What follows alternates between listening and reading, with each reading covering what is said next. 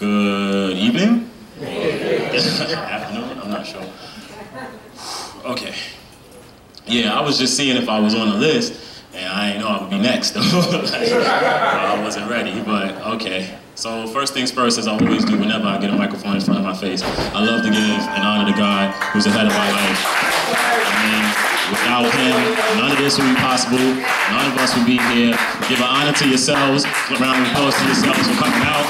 Everyone who didn't find it robbery, to, you know, come out. So um, I got a phone call this morning from Miss Jolly, works here at the um, Heritage House, and I really wasn't informed about this event. Uh, about this event, but um, I told her I'd definitely come out. You know, I always like to support because whenever we do something, we want support. So it's imperative that we come out and support others in their endeavors.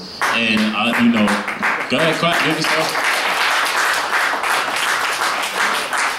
I do believe that unity is the cure for poverty.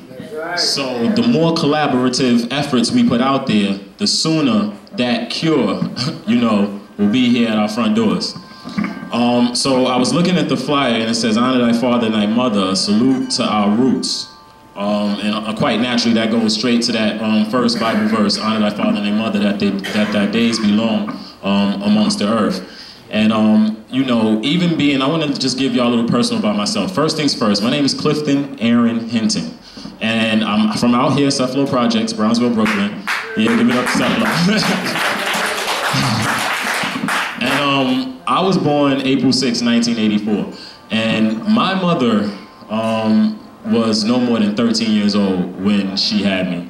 Yeah, and um, so, and then right there, 84, y'all know what was going on in the world. Uh, you know, that was the, you know, so I'm probably one of those, what you call an 80s babies. And I'm not ashamed to say it anymore, you know, I'm a crack baby, hey, you know, that was then, this is now, you know.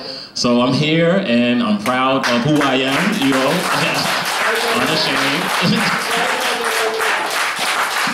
And it, it, hurts me, you know, to see sometimes that my mother hasn't changed in all of these 30 years. I'm 30 years old, just turned 30 last um, April.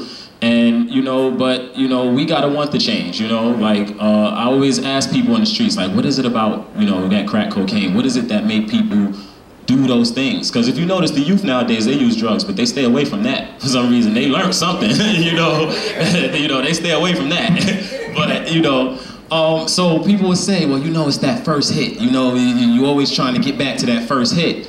And I'm like, okay, so in other words, those are a bunch of high chasers. So, you know, we got a lot of high chasers in the world. But what I've learned, you know, and what I do now, I created my own youth organization. It's geared towards youth empowerment and community development. Our mission, our motto, our goal, all the same. Save our youth, save our streets, squash the beef, and increase the peace.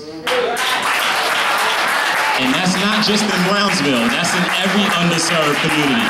Because a lot of our communities are not being served correctly. And those are issues that we all have. So uh, I got this